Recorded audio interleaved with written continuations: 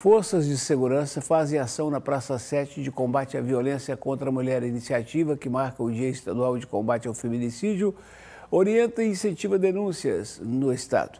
Já são mais de 1.500 prisões. Neste mês de agosto, a Sejusp coordenou, junto com todas as instituições e as forças de segurança, a Operação Chamar, que intensificou as ações de repressão, ações educativas para conter essa criminalidade da violência doméstica que, que acomete, infelizmente, a nossa sociedade. Foram mais de 1.500 prisões até agora e a operação nem terminou.